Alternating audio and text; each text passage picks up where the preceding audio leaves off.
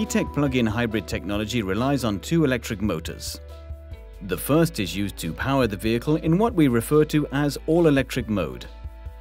It can also generate energy during deceleration. The second has several functions. It is used for repeated starts of the internal combustion engine, to synchronize gear changes in the automatic gearbox, to stabilize the transitions between the electric motor and the internal combustion engine, and lastly to recover energy during deceleration. The 400 volt traction battery is located in the floor under the rear bench seat cushion. This means there is no impact on luggage compartment load space and the modularity of the split rear bench seat is retained.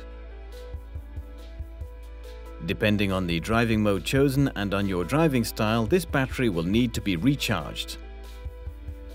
That is what is so great about a rechargeable hybrid vehicle.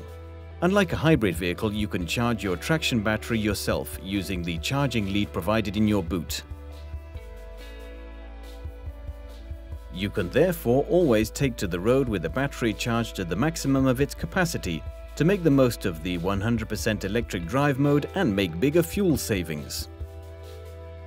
This battery is also charged by the energy recovery system during successive phases of deceleration and braking. And the petrol engine can be used on its own to keep the battery charged, even with the vehicle stationary. It will stop once the traction battery is sufficiently charged. This traction battery powers the electric motors via the orange leads that can be seen under the bonnet on new Renault Captur E-Tech plug-in hybrid. This symbol, lightning flash, is used on all of the high voltage electrical components. Any work on this 400 volt electrical circuit must be carried out by a Renault agent. The conventional 12 volt battery is retained to power all of your vehicle's equipment, such as the headlights, windscreen wipers and electric windows. It is fitted in the luggage compartment floor to the rear.